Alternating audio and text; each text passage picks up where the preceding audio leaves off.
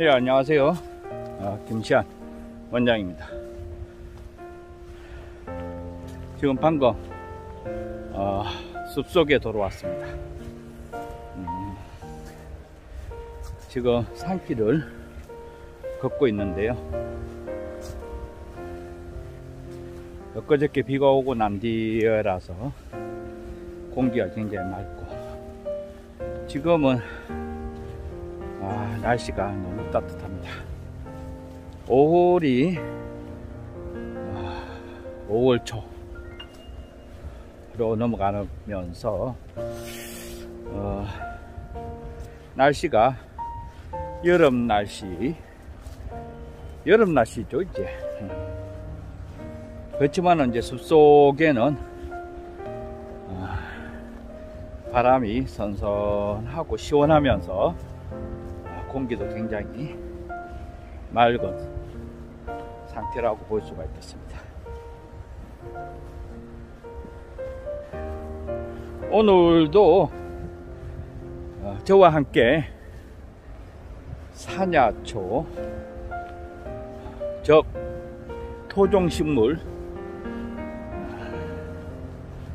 전설 이야기로 함께 시작 해볼까 합니다.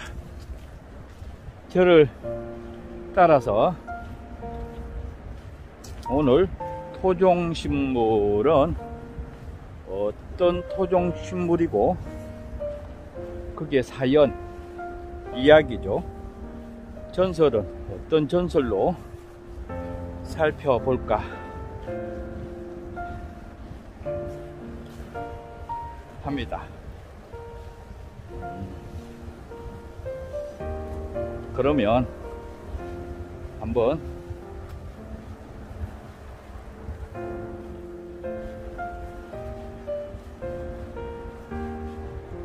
오늘의 토종식물 이야기, 저 전설 한번 시작해 볼까요?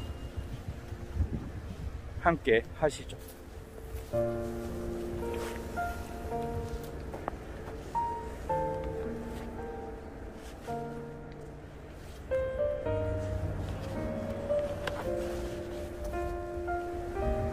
오늘은 국화. 국화 아시죠 그죠? 국화. 국화의 전설. 어, 이야기를 갖다가 어, 살펴볼 수 있는 시간들을 가져볼까. 중국. 남양의 여현에 있던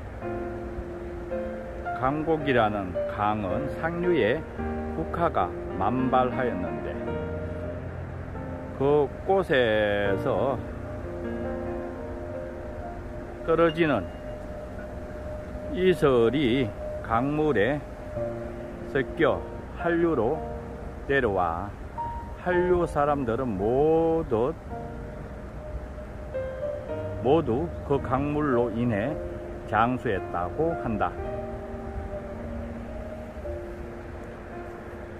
장수한 그것으로 이름난 선인 팽조 역시 국화 연못가에 살며 국화 이슬을 받아 마셨다고 한다.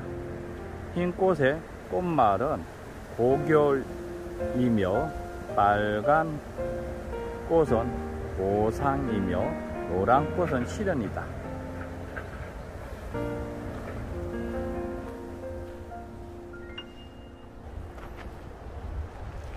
어, 지금 토종 식물인 국화.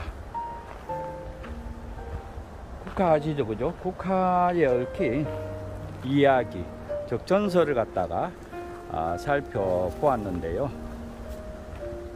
어, 집안에 애군이죠 그죠? 안 좋은 기운이 들어 닥쳤을 때 음, 국화 주나 국화를 만들어서 드시면 어, 예방을 하죠. 특히 이제 9월 9일 날 어, 뿌리를 채취를 해서 국화주를 담아서 마시게 되면 장수를 한다고 합니다.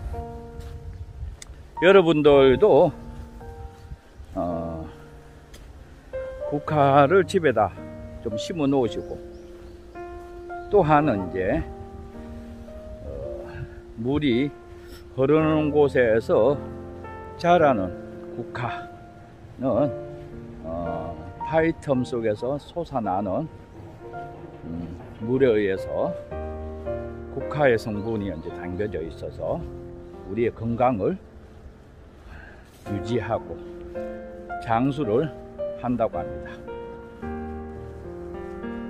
오늘 국화에 얽힌 이야기를 갖다가 첫 번째 이야기, 첫 번째 이야기 살펴볼 수 있는 시간들을 가져 보았습니다.